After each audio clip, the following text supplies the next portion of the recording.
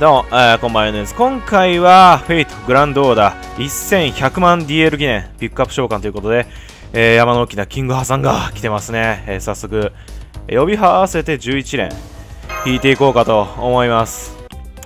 いや、これどうし、いやー、10連で出なかったらさ、もう追加で入れるかとかめっちゃ迷ってんだけどさ、この、第7得意点、第6得意点と、えー、クリアした人ならわかると思うんですが、えー、ぜひとも引いておきたい。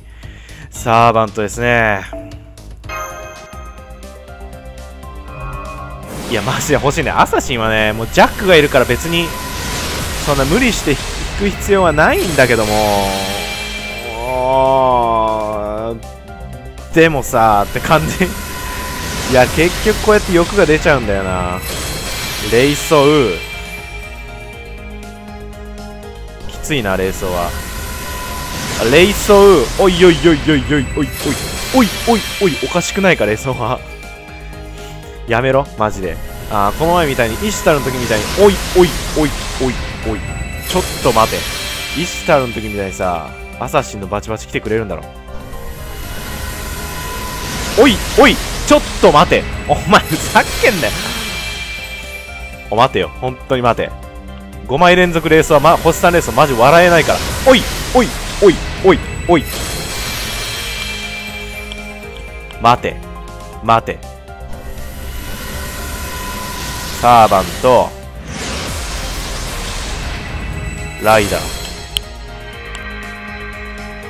おい笑えないぞ本当に。なあ本当に笑えないぞお前。無料配布石マジ疑うぞお前。サーバント。ランサー。違う。俺が見たいのはアサシンだけだ。やめろ。マジで。おい。やめとけ。ほ星3レースだけはやめとけ。ライダー。あアサシンこお。まあブーティカなら許す。ラスト。おい。おい。お前なん